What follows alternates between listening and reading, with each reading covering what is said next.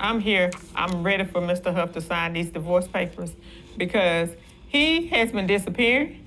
Um, he doesn't spend time with me. He's his his main priority is his car collection, and it's it's to the point where I'm, I'm tired.